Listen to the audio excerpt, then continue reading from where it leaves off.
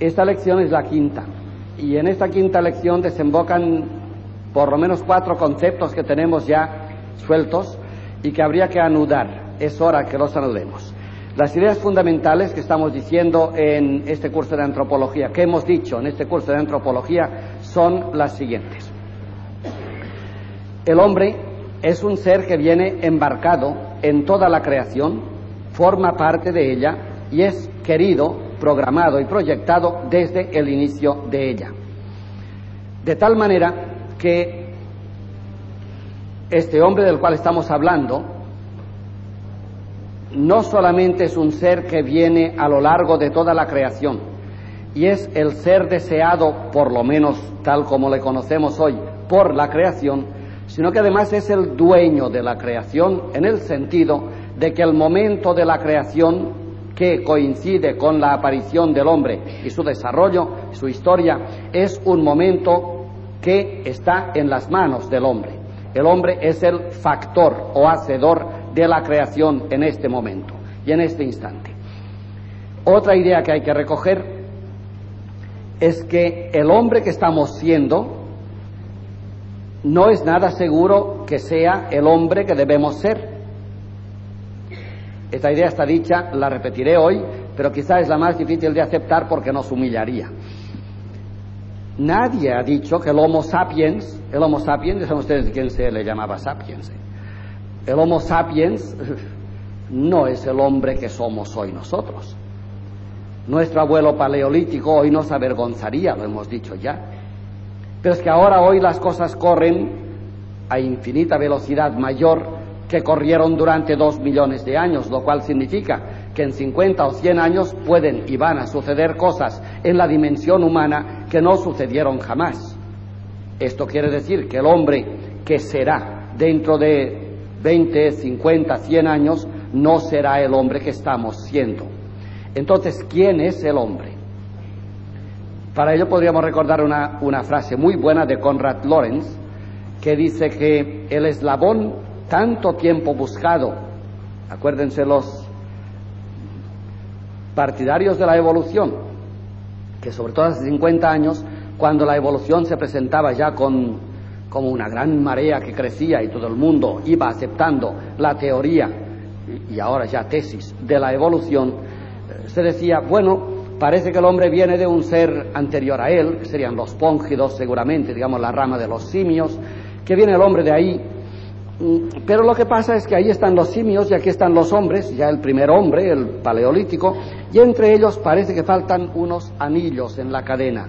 Sabemos que el hombre proviene de ahí, pero para demostrarlo apodícticamente, de forma definitiva, nos haría falta un semi-hombre, un mono más humano o un humano más simiesco, que fueran los anillos, los eslabones que le faltan a la cadena para llegar hasta el hombre. Bien, pues vuelvo al tema. Estos anillos, este eslabón, tanto tiempo buscado entre el animal y el hombre, dice Lorenz, somos nosotros. Ala. No crean que está tan mal, ¿no? ¿Quién ha dicho que el hombre soy yo? En todo caso, soy un hombre que camino a ser hombre. Esto está dicho en plan individual. Claro que yo no soy yo. Yo soy un yo que al no ser yo camino a ser yo. Sí. En plan individual. Y en plan social. Luego, la raza humana no es la raza humana. Lo que pasa es que la raza humana es la raza humana caminando a ser la raza humana. Eso sí.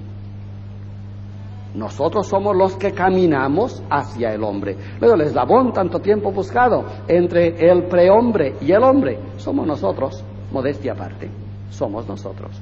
Lo cual quiere decir que los que vengan dirán, mira, el eslabón del siglo XX. Y ojalá se acuerden del siglo XX. Eso también está dicho, porque esto abre paisajes, panoramas muy anchos al tema de la evolución y sobre todo al tema de la descripción del hombre. Si retienen ustedes estas ideas, que son las fundamentales que hemos dicho durante el curso, ahora vamos a decir otra cosa, una idea y a explotarla. Cuando hablamos de creación, esto pertenece ya en cierta forma a la teología, pero digamos una teología teleológica, que sería lo siguiente. Si ponemos aquí la creación, esto normalmente es entendido como un momento, un momento evidentemente que pueden ser siglos, está claro, pero hecho, un momento pasado. Después de la creación ha venido la gran línea, creación sería alfa en lo que apuntábamos, la gran línea de lo que llamamos la evolución, de forma que la evolución para las cosas, para el hombre, sería en este sentido. Cada vez vamos a más. El hombre va creciendo, la evolución significaría un crecimiento cada vez para adelante y para arriba, por tanto, en el sentido de esta flecha y en el sentido de esta flecha. Esto se llama la evolución, pongámoslo. Y la evolución está en camino. Luego, suele entenderse en antropología que la creación es un hecho, un factum, esto sucedió, tal como nos cuenta la escritura, por ejemplo, la Biblia, en seis días Dios creó al hombre, seis días que pueden ser seis miles de millones de años, es igual, en un momento dado se dio la creación, apareció lo creado, alfa, y ese alfa, una vez creada, se puso en marcha y empezó a engendrar toda la evolución, primero la materia, el cosmos, después las plantas, después la vida animal, después la vida pensante, el hombre. Y el hombre a la vez sigue la evolución, de forma que vamos del hombre paleolítico al homo faber, al homo sapiens, el homo, etcétera, etcétera. Tal como acabamos de decir, el eslabón estaría aquí. Pero digo que sucede que la creación se considera como un punto, un momento dado, y la evolución se considera una línea después de la creación. Esto conviene corregirlo, porque no es así. No es así. Ahora hagamos la teología de que hablaba yo. Si ustedes ven esta línea, esta línea, tengan en cuenta que con la creación, del momento que aparece el mundo material, aparece con el mundo el espacio y el tiempo. Los que han leído a Einstein se acordarán de la importancia que esto tiene. El tiempo y el espacio son dimensiones, por decirlo así, nuestras, de la creación antes de la creación o después de la creación o fuera de la creación, no existe tiempo ni espacio. Esto lo sabe muy bien la teología, ¿no? En la eternidad, la eternidad no es tiempo, es el tiempo fijo, el tiempo que no es tiempo, no pasa, no se mueve, o pasa a tal velocidad que es tan veloz que no se mueve. Es lo mismo. Y el espacio es igual, los extremos se tocan. Muy bien. Entonces, el espacio y tiempo son cualidades, categorías propias de la creación. Fuera de la creación no hay espacio ni tiempo. Entonces, si cogiéramos, bueno, primero empezaremos por la evolución, todo el largo tiempo de la evolución, recuerden que esto, pues, desde la creación del Big Bang, pueden ser 10 mil millones de años. 10 mil millones de años, desde que apareció la creación. Supongan ustedes que un observador exterior una persona que esté en la eternidad, fuera del tiempo, ve toda la gran línea de la evolución, 10 mil millones de años, en un instante. Claro, la eternidad no es tiempo, es un instante. Luego, un observador que se colocara fuera del tiempo y el espacio nuestros, vería desde su observatorio 10 mil millones de años como un instante. Somos nosotros los que lo vemos largo porque vamos paso a paso siguiendo este tiempo o colocándonos u ocupando el espacio. Vamos conquistando el espacio mientras caminamos. En cambio, un observador exterior vería todo esto como un punto. Pues bien, la cosa es que no vería todo esto como un punto, sino todo esto como un punto. Desde alfa hasta el final de los tiempos, que no sabemos a, a dónde nos conduce. Esto quiere decir que posiblemente los que estamos embarcados en la evolución y que nos maravillamos de que hablemos de 10 mil millones de años. No sabemos qué es esto, ni nadie lo sabe. ¿Cómo te puedes imaginar 10 mil millones de años? Los que estamos embarcados en la evolución cometemos un error que este nos ayuda a corregir. Este lo ve todo en un momento. Alfa estalló y sigue estallando. La evolución no es más que el momento actual de la creación. Nada más. No es que hubo creación y desde la creación hay evolución. No, no. Hay creación sencillamente. Hay creación. Empezó la creación y el globo se empezó a hinchar y sigue hinchándose. Este es el universo, el cosmos. sigue hinchándose, con lo cual las distancias entre estrella y estrella crecen cada vez porque se hincha el globo y se sigue hinchando. Pues no es que se creó el globo y luego se le hinchó, no, no, el globo empezó hinchándose. Por tanto, la creación empezó y estamos en la creación. Estamos en los días de la creación. Les cité el otro día el texto hermoso de San Agustín. El séptimo día somos nosotros.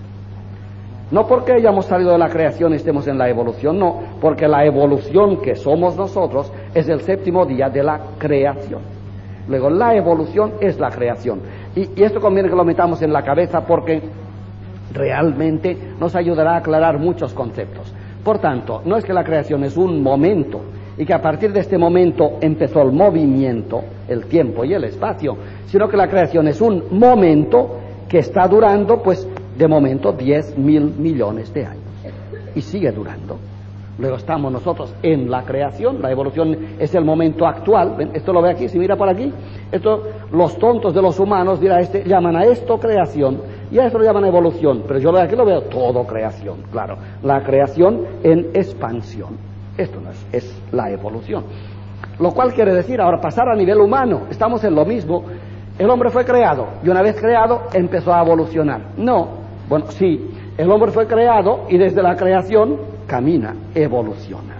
Luego la evolución es el momento actual para el hombre, ya no dentro de la creación solo, sino para el hombre solo.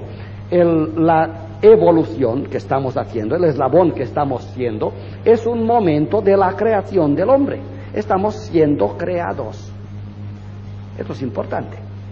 Y es verdad. Lo que acabo de decir al principio, yo no soy yo, yo me estoy creando. Tanto no es que me hicieron y ahora yo evoluciono. No, no. Es que desde que me hicieron evoluciono. Hacerme significa lanzarme a correr. Y por tanto estoy haciéndome. Luego, la evolución ya a nivel humano, por tanto abreviada desde la creación del hombre, dos millones de años, la evolución no es más que la creación en expansión. Pero ahora viene otra vez una idea importante y esta es nueva para esta tarde. Así como la creación es el origen de la evolución, y la evolución no es más que el momento actual de la creación, y pasado al hombre, el hombre que estamos siendo nosotros, no es más que el momento actual en la evolución de la creación del hombre, el hombre está siendo creado. Ahora nos preguntamos, un momento, y entonces, ¿qué hombre es el que está siendo creado? ¿Ven la pregunta del principio? ¿Qué hombre es el que está siendo creado? El hombre. Sí, pero el hombre apareció Adán, ¿eh? el paleolítico, pues apareció Noé, el neolítico, pues apareció Platón, el griego, pues apareció Tomás de Aquino, el medieval, apareció eh, el hombre industrial del siglo pasado y ahora estamos, ¿quién es el hombre? No, el hombre está siendo creado. Y así como cuando tú creas una cosa, pues yo que sé, empiezas por los pies y la vas haciendo. Bueno, pues la humanidad se está haciendo, está siendo creada. Y vista desde fuera la humanidad, pues se ve así.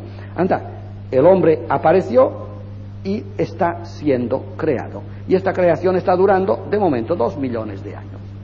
Dos millones de años. Pero digo que añadimos una idea aquí.